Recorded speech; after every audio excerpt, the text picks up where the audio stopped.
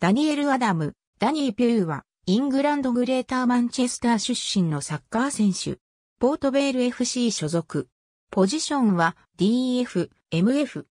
マンチェスター・ユナイテッド FC のアカデミー出身。2004年にマンチェスター・ユナイテッドがリーズ・ユナイテッド AFC よりアラン・スミスを獲得した際、契約の一部に伴って交換要員としてリーズへと移籍する。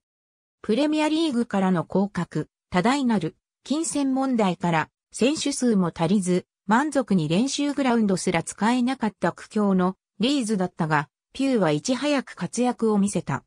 本来は守備的な選手だが、クラブ事情から攻撃的である左サイドハーフでの起用にも応えて、チームを牽引。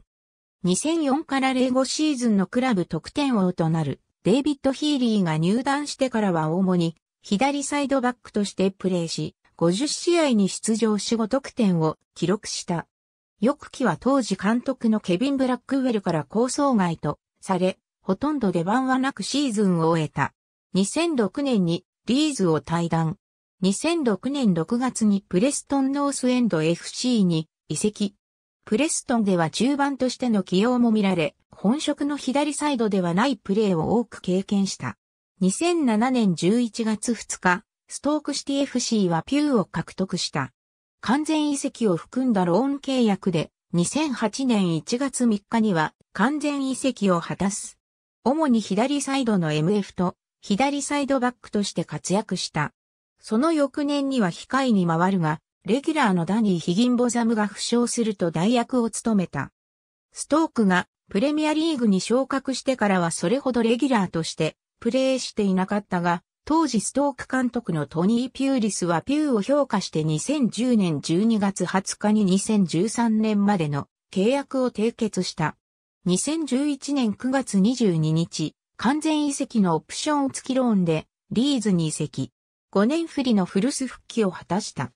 ローンが終了する間際、ピューリスはもう少しの間ピューをストークに止めておきたい意向を明かしたが、2012年1月2日に2年半とし、契約でリーズに移籍。リーズでは本職の左サイドバックを務めたが、負傷者が出ると中盤でもプレーした。2013年1月に当時監督であったニール・ウォーノックの構想から外れ、シェフィールド・ウェンズデー FC へとローンで放出された。